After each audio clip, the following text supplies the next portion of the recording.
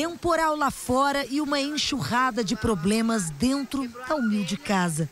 O grande volume de água descia pelo telhado quebrado e a chuva invadia também por várias frestas em volta do barraco. Depois do vídeo, nós viemos até a casa onde teve o alagamento. É um barraco de apenas dois cômodos. A gente vê que a estrutura é muito simples, fica aqui no conjunto Dona Iris 1, em Trindade, feito com estacas de madeira e tapumes que foram colocados até mesmo na hora que toda chuva acontecia, porque o telhado veio abaixo. E a casa pertence agora à Dona Helena, que é uma mãe de sete filhos que no final do ano passado veio do Pará aqui para Goiânia em busca de melhores oportunidades de trabalho. E não conseguiu emprego, né, dona Helena? Desde então está aqui de favor.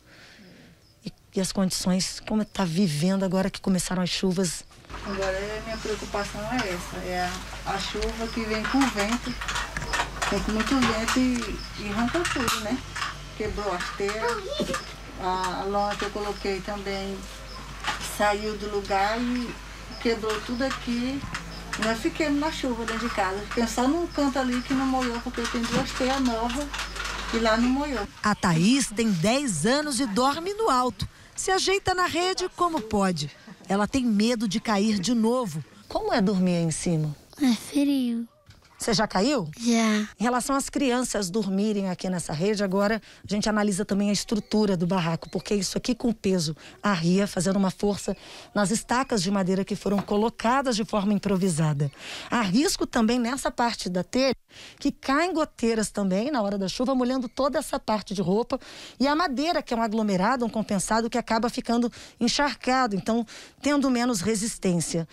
E a Helena tem muito medo é dessa parede lateral aqui, que a frente da casa, vira abaixo nesse momento do temporal, porque já teve ameaças, ela fica mexendo? Hum, aqui não tem o pau aqui, ó, né, nessas paredes aqui, né? É umas tábuas, umas portas. Aí os barros eles caem para cá. É quando chove, entra água aqui. Aí fica só lama aqui, ó. Há três anos sozinha, Helena tem 39 anos, é mãe solteira, sem receber ajuda de nenhum dos três pais diferentes dos sete filhos. O lote é emprestado. A luz, a água, ela consegue com a ajuda da vizinhança. Duas vezes por semana, enchem a caixa d'água nos fundos, mas não há encanamento. Olha, em relação à higiene, realmente é muito precário. Como ela falou, não tem banheiro. Elas vão lá fora, não tem onde tomar um banho.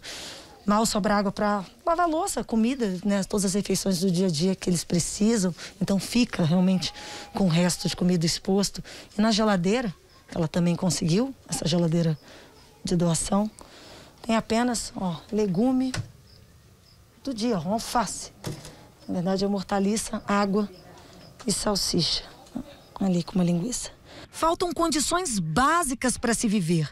Falta um piso, falta um telhado, uma lona que seja, uma cama para cada filho, um brinquedo, alimentos para crescer, emprego para seguir adiante com um mínimo de dignidade. Gostaria de um quarto para minhas irmãs, para meus irmãos, para minha mãe, para minha família. O sonho é ter um lar, casa própria mesmo, né?